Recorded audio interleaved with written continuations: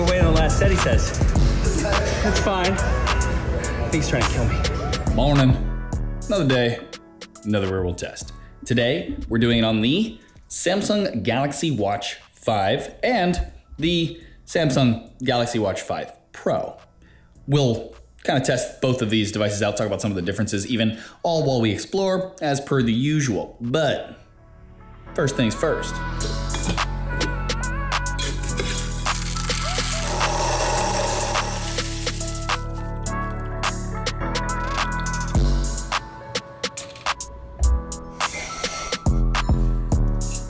So now we have two models of the Samsung Galaxy Watch 5. We have the Samsung Galaxy Watch 5 and the Watch 5 Pro. Now last year, instead of the Pro, we had the Classic, which was essentially the same thing as the Watch 5, but it had a physical rotating bezel instead of the digital one that we have now. That apparently is done. You can actually still buy it on Samsung's site, but it's the Watch 4 Classic, and that tells me, well, they're not making a new one. Now I know there'll be plenty of people out there that are going to miss the physical rotating bezel. I also really liked it, but I found myself kind of always gravitating towards the more minimalistic, smaller, lighter Watch 4 instead of the Watch 4 Classic. I found that that virtual rotating bezel kind of worked well enough anyway, and that is here on all of these Watch 5 models, so bye. Now, the Watch 5 is very similar looking to the Watch 4. You'd actually have a hard time telling the difference, even with them side by side. And they come in basically the same colors. One of them has a different name, but it's very similar. Samsung did, however, change the glass on the top from Gorilla Glass to Sapphire, which is a welcome change as it'll scratch a lot less easily. We also have a larger battery, but about 12 to 14%. The smaller one has a 14% larger one, the larger one is a 12% one, and we now have a supposedly improved set of sensors. The sensors and that battery we'll test out soon enough. Now, the Watch 5 Pro actually has the largest battery of all of the models by a decent chunk. It's 30% or so larger than the already larger Watch 5 battery. We also supposedly have better GPS tracking and a titanium case to go with the sapphire glass instead of the aluminum one on the regular Watch 5. So the case should not scratch as much when banged around a bit. Now both these new watches take 20mm quick release bands, just like the Watch 4 did, and as with the last watch, I got the largest size for the Watch 5 and think it's perfect, in spite of my, you know, daintier wrists. I will say though that the band that the larger one comes with when you get the smaller size just fits on my wrist. I'm on the second to last, sometimes the last notch on it. So just something for you to know. You might need a different band when the watch arrives. Now they both come in Wi-Fi only models and LTE models are available for $50 more. And lastly, there are some golf themed versions of each model that have a green home button and some custom straps that all apparently help you track some golf stuff. They do also apparently come with an unlimited membership to the Smart Caddie app. And as far as I can tell, they don't actually do anything specific for golf other than that membership. Like it would be more interesting to me if they tracked your golf swing because they're on your wrist and somehow they figured out a way to have an algorithm help you do that and improve that or whatever. But they don't. Let's get out of here so I'm not late for my appointment and let's test out some of the fitness stuff with the watch. Okay, and now we're at my local gym called Grindhouse. And I'm here with Vince here. Who's my trainer's been working with me for a bit. He's a nice guy, but I really think he enjoys watching me in pain. Least he's honest. so first, I loved Samsung's new body composition feature that they introduced with the Watch 4 that lets you scan yourself using the watch to get a body fat and a muscle mass estimate. The idea here is that it's better than just measuring your weight, as someone with 10% body fat versus 30, even at a similar weight, will look very differently and be different levels of healthy even. It's a metric I always like to have when working out as it tells you more than just your weight and can help you adjust your diet or workout accordingly for your goal. So first, let's get a baseline from this body scan machine in my gym, which is a $6,000 machine that measures exactly that, and see how close we get. Now, the number itself doesn't exactly matter unless you're gonna perform in some sort of body weight competition. What really matters is that you just want it to be consistent so that this way you can see if you're going up or down and then adjust according to your goals, like I said. Okay, and now let's get into our actual workout and track it on the watch.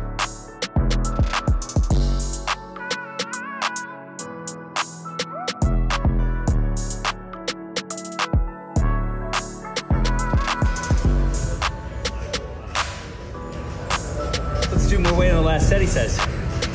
That's fine. I think he's trying to kill me. Okay, so I selected weightlifting on this watch as a catch-all since I didn't really want to stop and choose each workout separately, but it does have a decent amount of choices if that's how you prefer to do it. But it did track my heart rate the entire time and calculated my calorie burn accordingly, and it gives you all the data you can expect from a smartwatch.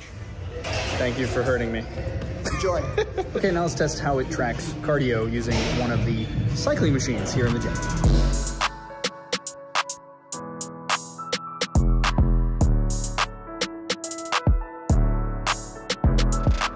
All right, so after a quick 10 minutes on the stationary bike, the watch got very close heart rate wise to the handle based tracker of the exercise bike, so that's pretty impressive. It also gives you data on what heart rate zones you were in and when, and now gives you the heart rate recovery information to see how quickly your body recovered from the workout, which is nice to know.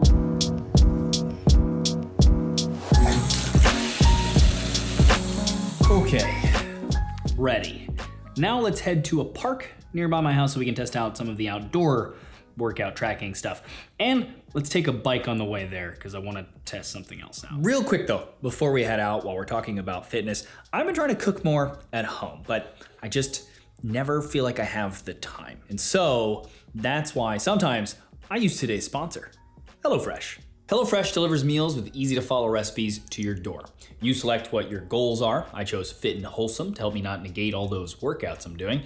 And then you choose from 30 plus weekly recipes that you can also even customize further if you want. Don't want chicken? Swap it for fish. Don't like the sides? Change those too. I started using HelloFresh, and honestly, well before they asked to sponsor a video, because I wanted to force myself to get better at cooking, frankly, in addition to the health benefits and budget benefits of not eating out every meal, and the only way to do that is to practice. HelloFresh makes it easy with everything mise en place already for me, which is the term for having all of your ingredients measured and ready to go before cooking, which saves me time, but also means less wasted food. Now, I live alone and I travel a ton, as you guys might know, so I like that the plans are flexible. And even when the meal is served for two, I either invite someone over for dinner, or as soon as I'm done cooking, the second serving goes into a Tupperware for lunch or dinner the next day. So, if you're interested in saving money on food, eating healthier, or just wanting to challenge yourself to cook more often like me, go to HelloFresh.com and use code UNLOCKR65 for 65% off plus free shipping. Thanks to HelloFresh again for sponsoring this video.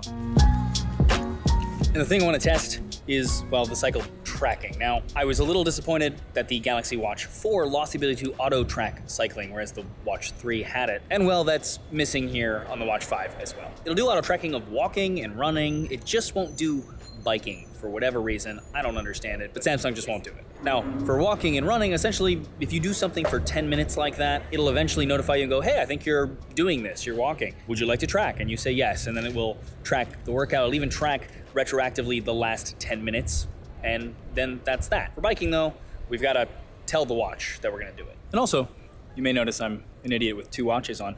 I want to see how the Pro does versus the non Pro with this. I'll explain why in a bit.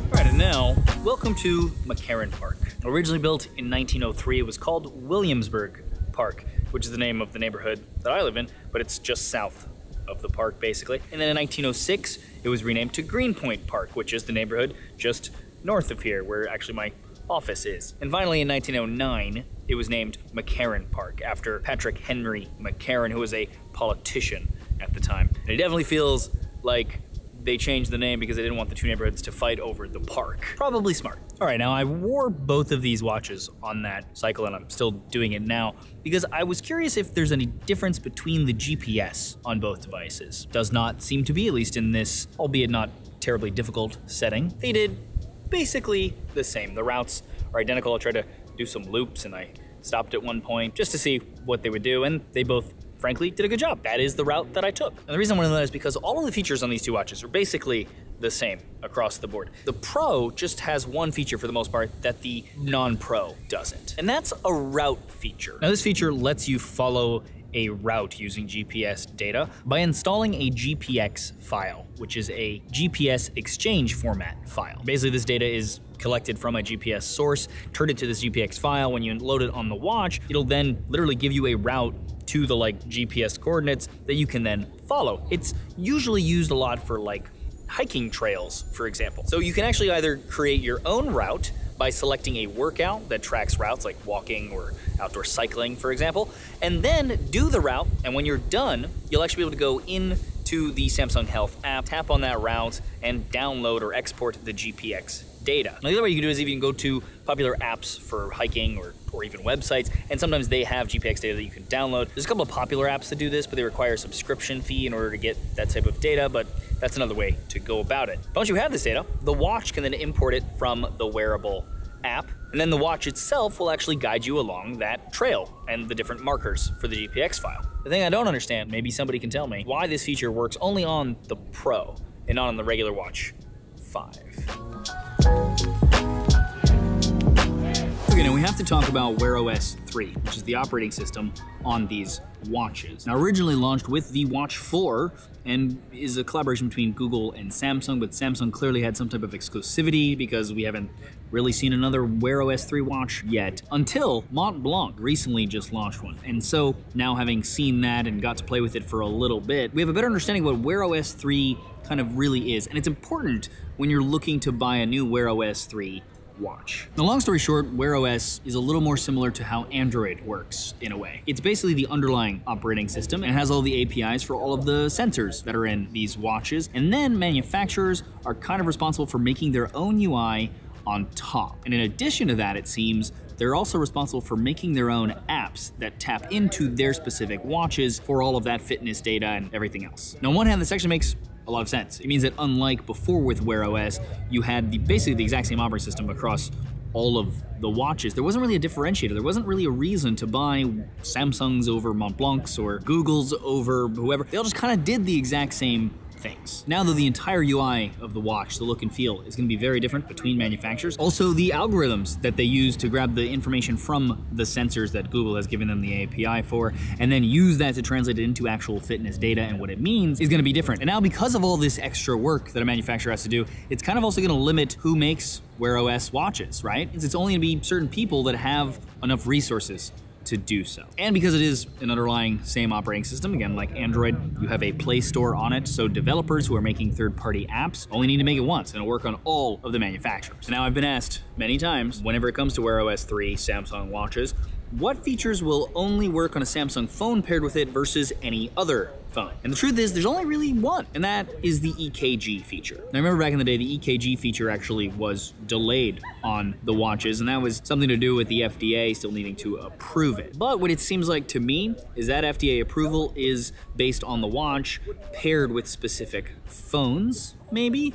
And so that's why that feature only works when it's paired with a Samsung phone, because that's what they have the approval for, that system together. And we're using it on any other Android phone. They don't have that, so they just don't allow the feature work. But other than that, everything else will work on a non-Samsung phone. But as we mentioned, you will need to use Samsung's app because that's kind of just how Wear OS is working. So use Samsung Health on your Android phone paired with a Samsung Watch, and you're basically good to go again minus EKG. Now, if you want to, you can use Google Fit, but it just it doesn't what to do with most of the data coming out of the watch. It'll give you steps and heart rate and track some workouts, but sleep tracking, SpO2, like all, all of the other features that aren't just like the basic core don't really work. And I kind of wonder if we'll actually see an updated version of Google Fit when the new Pixel Watch comes out.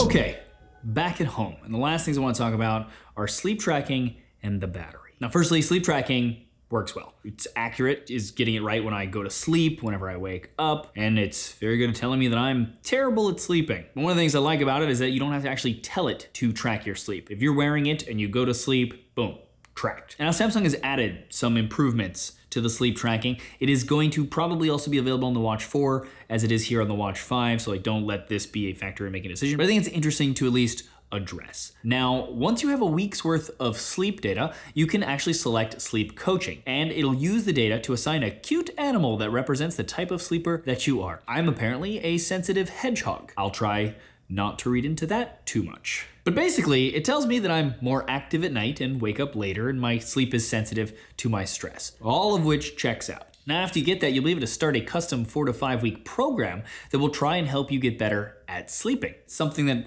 maybe one of these days I'll actually commit to and see what it does. Okay, now because of the fact that I do like sleep tracking, I tend to wear my smartwatches all day and then all night while I'm sleeping. The only time that I charge them is when I'm taking a shower. And I'm thankful actually that we have faster charging on the Watch 5 than we did on the Watch 4. You're supposed to get about 45% back in 30 minutes. Honestly, all I care about is in the 30 minutes, like I'm taking a shower and then I get ready, I get enough power back to then last me another full day. And so for a day like today with a workout in it that I tracked plus sleep tracking overnight, I lost 45% in 24 hours. Charging it on its included charger for 30 minutes while in the shower and getting ready, got that back up to 38%. So, not quite an extra 24 hours from 30 minutes like I ultimately want to see one day, but if you left it on for a bit longer, you'd get it. And so, that feels better than the Galaxy Watch 4 by a bit to me. In fact, I recently went on a work trip and I forgot to bring the charger for the watch. But I ended up getting four days just about out of it, regardless. Now, to be clear, I probably worked out one of those four days. It wasn't a workout every day, so I was bad at working out that week. But still, that's pretty good. And for the Watch Pro 5 with its larger battery, I tended to get maybe an extra day out of that watch compared to this one. If you want a slightly more rugged watch because of that titanium case, which will scratch less than the aluminum one, a decent chunk more battery, and or you just like the look of the larger watch, which is totally fair, then the Pro might not be a bad option. Now, either way, both of them are probably up there for some of the best smartwatches you can get for Android phones. But I'm excited to see what other Wear OS 3 manufacturers come up with. I think we're all very curious to see what Google's own Pixel Watch will do with this. If you want to see my video on that when it comes out, please subscribe and ding the bell next to the word subscribe so you get notified when it goes live. Or subscribe and ding the bell if you like this video a lot. Come explore more places with me while we test out more tech. As always, though, regardless, thanks for watching.